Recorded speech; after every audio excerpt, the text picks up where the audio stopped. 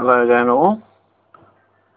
I opened this um, Zvezda Panzer 2 to check it out, so I thought while I was doing that I'd make a vid. The kit only consists of six parts,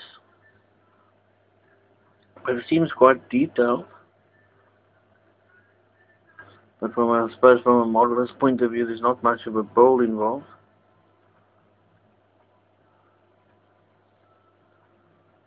But um, for the price, I don't think you can really go wrong.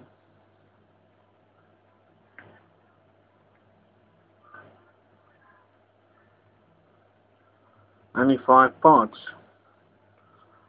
Also in the box you get a card for Art of Tactics, uh, Zvezda's war game. Get a very, very basic instruction guide for a very basic build. And that's really all about all. Okay guys, till the next time. Bye now. Keep well.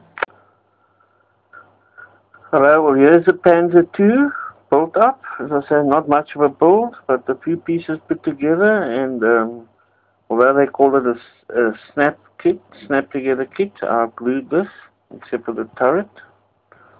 Turret is a bit tight but it can turn. Never realized how small these actually were. So I finished building them, but uh, as I said, uh, the, the, the molding, the casting is actually quite good.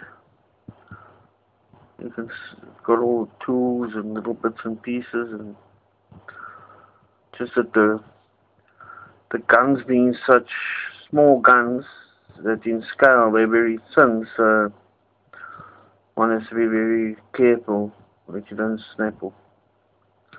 one of the weapons. Okay, there's not much more else to say about this boy, but um, um, once painted I'll show you a bit of that. Okay then, bye now.